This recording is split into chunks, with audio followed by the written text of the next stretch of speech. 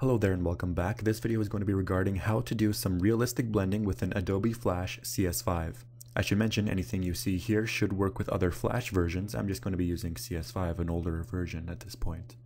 You are just going to have to find your way around a bit with the newer versions because they may have changed the layout. Now what I'm going to be doing is blending this smiley face here with my with this background I've chosen. Now the first thing we're going to want to do is is make a new project, make a new layer, call it background, I've already done that. Then we want to drag, drag the chosen image, the one you want to blend the other image into, your background. Here's my background, quite a large image. I'm going to resize it to the size of my display box, the white square you see there. Okay, now, we, now that we have that set up, the next thing we're going to want to do is make a new layer to put our smiley face in. Clicking on the smiley face over here, dragging it in. The image I have is a PNG image. It has transparency just to make it more realistic. Next thing you want to do is convert it into a symbol, a movie clip.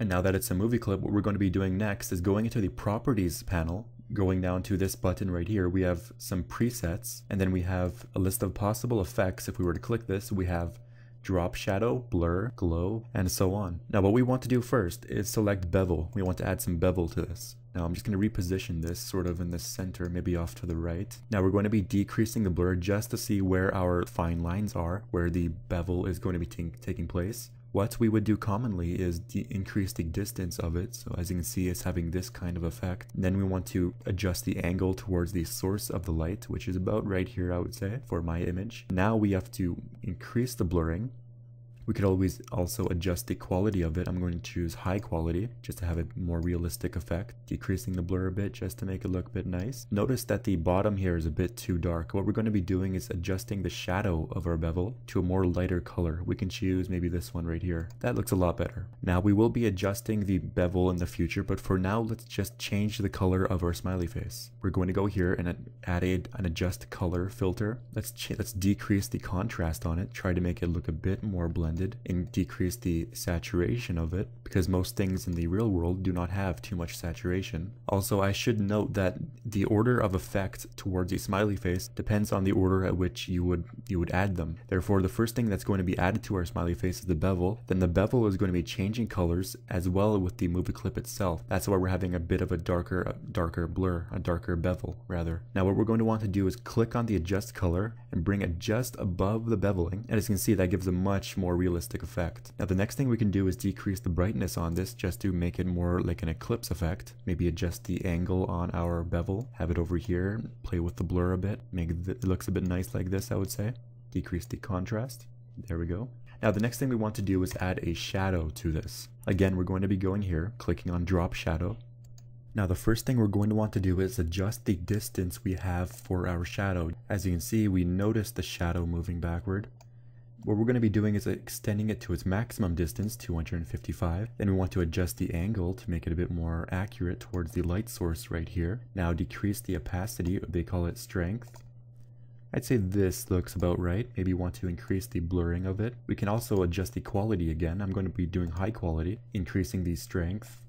And at this point, it's all just a qualitative analysis. It's just what you would think looks good for your image. The more complicated your image, the better it's going to look. I'm just using a smiley face here just to demonstrate the power of using filters within Adobe Flash. Now I'd say this looks pretty good, but we're going to be doing one last thing just to add a, a sort of final touch. I'm going to insert one new layer, go to my library, and I found here a image, a lighting image, I found this by doing my, well, uh, doing a, a, sort of search using my favorite search engine. I just typed in lighting effects, PNG,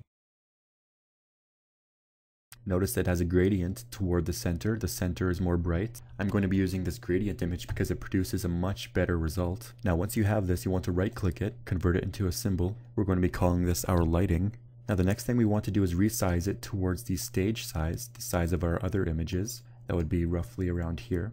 Now we are going to go into the properties panel for this movie clip that we just made. We're going to be editing the blending right here. Notice it's on normal right now. We have a variety of options we can choose. Let's go through them one by one just to determine their effect. Clicking on layer and using the keyboard down key, we can scan through them like this. Here's the blending of darken, multiply, lighten, screen, and so forth and this is just erase. Now I particularly like the multiply effect. As you can see it gives a much more realistic image. That looks very nice. Now, as I said before, if you have a very complicated image, like a person, let's say, or maybe a very detailed graphic image, like some sort of illustration, it would look far greater than just some simple smiley face. And this is the finished product. We can actually do a sort of test run, just to give you an idea.